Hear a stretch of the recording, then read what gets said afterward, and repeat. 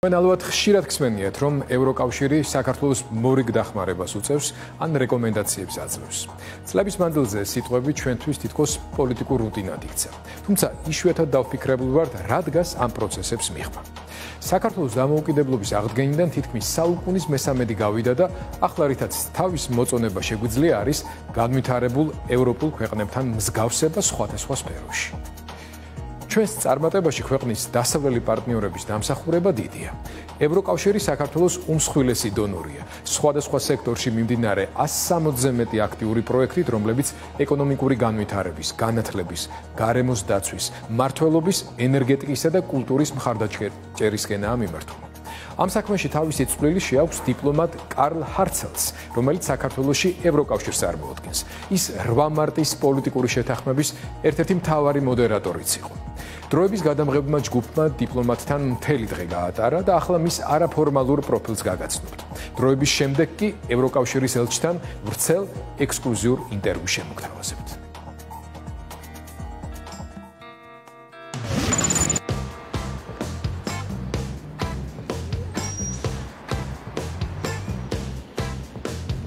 ორი წლის წინ მომიწია როტაცია ევროკავშირის ელჩის პოზიციაზე. ამ შემთხვევაში გვაქვს შესაძლებლობა 6 პოზიციაზე შევიტანოთ განაცხადი. მე მხოლოდ ერთზე შევიტანე და ეს იყო საქართველო. ეს იყო გასაოცარი წელიწადნახევარი, რომელიც ჩვენ აქ გავატარეთ. ჩვენ ძალიან გვიყვარს ეს ულამაზესი ქვეყანა და განსაკუთრებით გვიყვარს ქართველი ხალხი. The thing is that to be frank i i didn't know too much about საქმე იმაშია რომ საქართველოს შესახებ ბევრი არაფერი ვიცოდი მაგრამ მქონდა გრძნობა სანამ აქ ჩამოვიდოდი ჰავიერ სოლანას მრჩეველი ვიყავი ვიყავი კეტრინ ეშტონის უმაღლესი წარმომადგენელი და ასევე მუშაობდი პრეზიდენტ ტუსკთან. So we really love it here. ჩვენ ძალიან მოგწონს აქ. ერთადერთი ვინც გვენატრება ჩვენი შვილებია. ისინი შვედეთსა და ირლანდიაში ცხოვრობენ. But they have visited us. სტუმრობენ ხოლმე და მათაც ძალიან მოსწონს საქართველო. ჩვენ ძალიან ბედნიერები ვართ რომ შეგვიძლია თბილისიდან გასვლა. ჩვენ ბევრ რეგიონში ევროპის დღეებს მართავთ და ხვდებით ბევრ ადამიანს. ჩემი აზრით ამ ქვეყნის ნამდვილი განძი ადამიანებია. მათი სტუმართ მასპინძლობა, კეთილგანწყობა, რომელსაც ამდენი ადამიანისგან ვგრძნობთ. ქართველები ძალიან მეგობრულები არიან, განსაკუთრებით თუ ხედავენ რომ ცდილობ რამდენიმე ქართული სიტყვა ისწავლო, ყოველთვის გიღიმიან.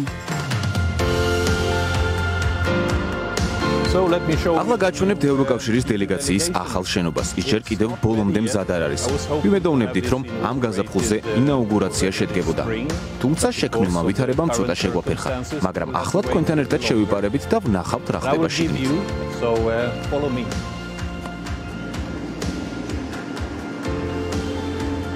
So here we have some some new indoor decoration. ეს ახალი დეკორაციაა. თითო სიმბოლო ევროკავშირის 27-ვე წევრი ქვეყნიდან. Ვიცით სტოკჰოლმის ქალაქის მერიით, ჩემი მშობლიური ქალაქი. The Brandenburger Tour, ბრანდენბურგის კარიბჭე, ბერლინიდან, ეიფელის კოშკი, რა თქმა უნდა, ატომიუმი ბელგიიდან. If you continue down this road, you will also see little Georgian flag. აქვე ნახავთ საქართველოს დროშას ევროკავშირის დროშის გვერდი გვერდ და გაბრიაძის კოშკს ხედავთ. Clock tower რომელიც ავარჩიეთ ჩვენი თანამშრომლების გამოკითხვის შედეგად. ის წარმოადგენს ტრადიციებისა და თანამედროვეობის შერწყმას და როგორც საქართველოს არის პატარა და ფოტოგენი. tradition and modernity. So, while you have been away, სანამ თქვენ არ იყავით, ეს დიდი შეხვედრების ოთახი მოვაწვეთ. This is what's happening. This is the new uh, big meeting room. And what I like about this, რაც მომწონს არის ავეჯი. ძირითადად ავეჯი ევროპიდან ჩამოგვაქვს. Მაგრამ მე განსხვავებული გზა ავირჩიე და ადგილობრივ წარმოებასთან დავიწყე თანამშრომლობა. მივიღეთ ფანტასტიკური ავეჯი. So friends, good morning everyone. მეგობრებო, დილამშვიდობისა ყველას. იმედოვნებ ყველა კარგად არის. როგორია ამინდი ესპანეთში? აქ ძალიან ცხელა. ჩემთვის ზედმეტად, მაგრამ მაინც ასეა მომი. Too much for a guy like me, but obviously very nice.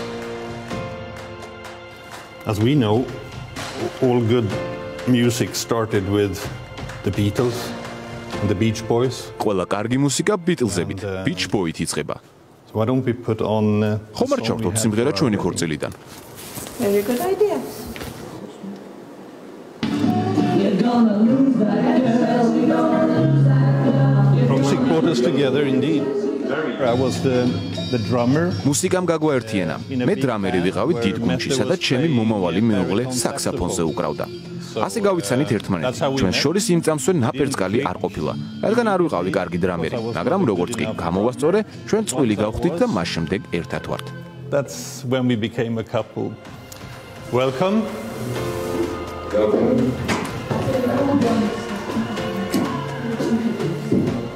Very welcome here. Let me show you my drum. მოდით გაჩვენოთ ჩემი დრამები. ჩემი საყვარელი ინსტრუმენტია. My favorite instrument.